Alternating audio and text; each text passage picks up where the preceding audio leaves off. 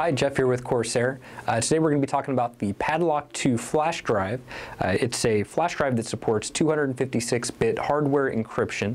Uh, it's platform independent, so it works on any operating system, and it doesn't require any software to be installed on the system. Uh, to lock and unlock the drive, it's all handled directly on the drive via this keypad here, and we'll go over this and show you exactly how it works. The Flash Padlock 2 will function just like any other regular flash drive uh, until you've set a personal identification number uh, or PIN number, and we'll show you how to set that PIN.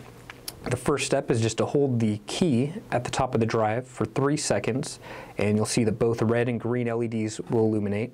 Uh, then you want to enter your desired PIN number. Uh, you can use any combination of numbers between 4 and 10 digits long. Uh, so we'll just do 0, 1, 2, 3, 4. Uh, once you do that, you'll want to just press and release the key one more time. You'll get the blinking lights and you want to re-enter your code one more time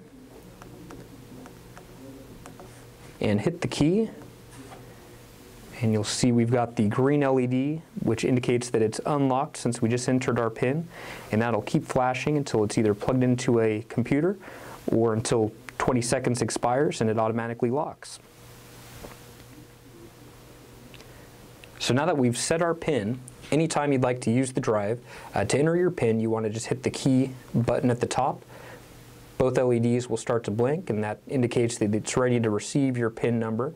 Uh, ours was 0, 1, 2, 3, 4. Hit the key one more time and you'll see that our drive is unlocked and it, the green LED is flashing to indicate that.